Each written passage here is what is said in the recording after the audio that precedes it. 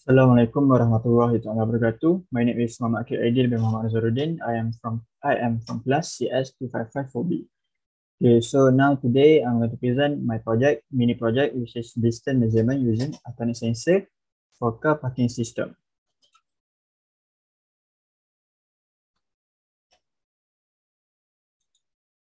Okay, now for introduction, uh, nowadays uh, the number of new driver has increased. Basically, they have issue with how to park their car, especially determining the distance between uh, the car and the obstacle behind.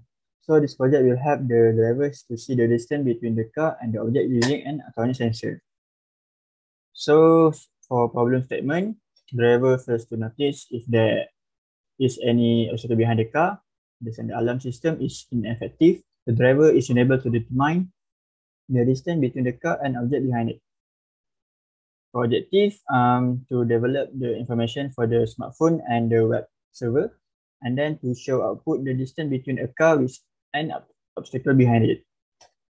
For significant, uh, minimize the driver accuracy in determining the distance between the car and obstacle behind to improve the existing system for more advanced. Okay, now for circuit design, um, for alternate sensor, I choose HC SR04 and it will connect to breadboard. And then um, for VNC, we connect to breadboard and then it will connect to um, ESP8266. So basically, uh, this is ESP8266 and then this is LCD display. But for this mini project, I choose um, display for this project um, I choose um, Blynk Blynk app for web and Blynk app for um, mobile. So this is how the circuit design. Okay, so now this is the physical um, uh, equipment for my project. So we have um, alternate sensor and then we have four wire jumper to connect to the um, MCU and then uh, cable um, cable um, micro will connect to the laptop. So this is how the uh, my mini project looks.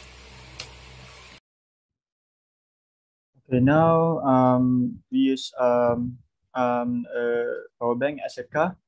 And then, for example, if uh, the driver want to reverse the car, and then we can see here the distance. Okay, see it for five, then he can reverse and he can determine the um, object um, behind it um, and a distance between object and a car. So then we can see 10, 9, 5. Okay, so this is how the project, my mini project system. So this is an example for web uh, Blynk.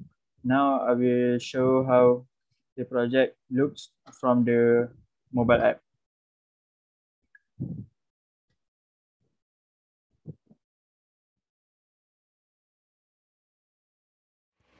Okay, this is how um, the distance measurement looks from the mobile app. So now we can see here. Okay, distance measurement.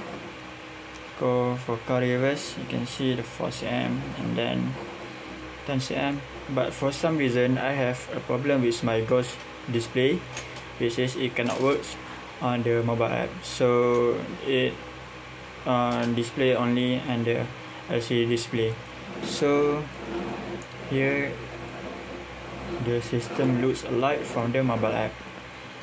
So that's all um, for my mini project. Thank you